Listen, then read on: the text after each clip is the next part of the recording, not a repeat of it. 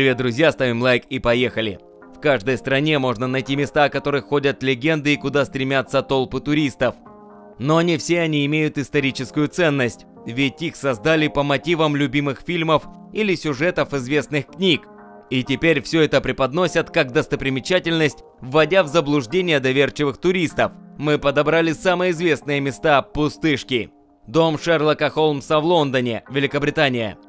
В этом случае действует двойной обман. Ведь всеми любимый и всемирно узнаваемый гений сыска Шерлок Холмс – вымышленный герой, причем все об этом знают.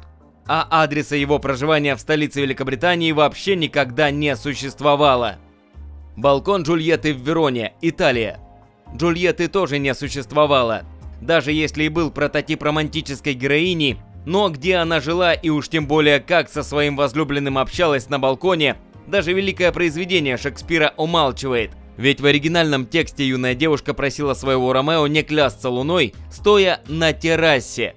Столь известный монолог влюбленной Джульетты переместили на балкон кинорежиссеры. Вот теперь именно этот образ и культивируют предприимчивые итальянцы, создав фальшивые дома и уж тем более балкон. Замок Дракулы, Румыния.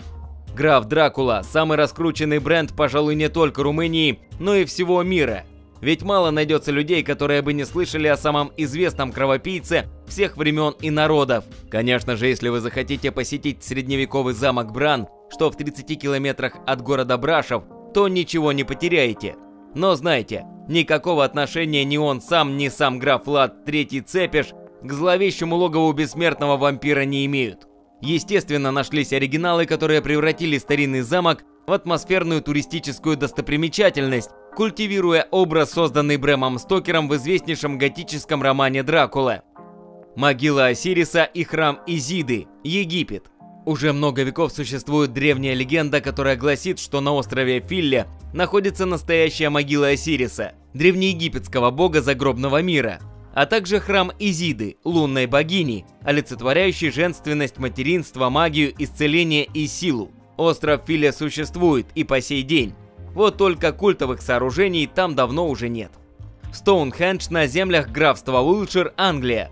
Много веков Стоунхендж был самым известным сакральным местом в Европе, ведь его возвели друиды еще за 3000 лет до нашей эры для проведения особых магических ритуалов и астрономических наблюдений. Но в 1958 году культовое сооружение подверглось серьезной реконструкции, можно сказать, было сделано заново.